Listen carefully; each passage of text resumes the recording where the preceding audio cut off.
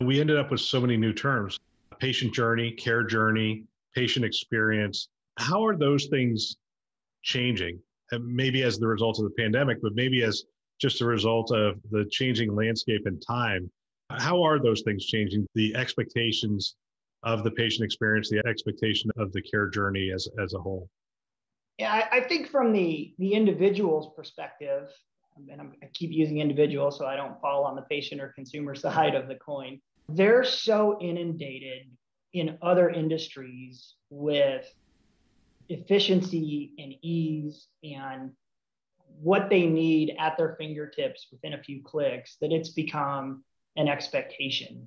And you pointed out we've really adapted to this word journey in healthcare. I, I think we probably view that as a journey more than the individual.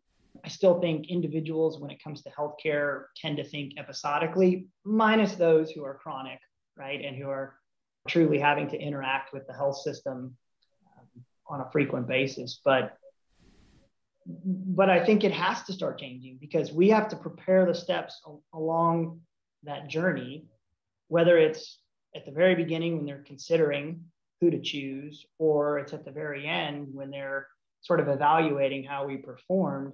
Even if they don't see it as a contiguous journey, we need to because we need to be sure that we're bringing solutions across that entire continuum uh, that service the expectations they have for any given industry. I said individual in the beginning because I think what's interesting is from a Texas health perspective, we've really changed in the last couple years how we think about and start mapping out whatever any given initiative is. And, and a lot of that begins these days with kind of the old school, what you think of consultative patient map or a patient journey on a page where we're flowing them through all these steps. And that's not necessarily how we used to do things. And for me, it's a welcome change because it, especially in IT, it backs us way up into the process where we may not have thought to operate or think in the past.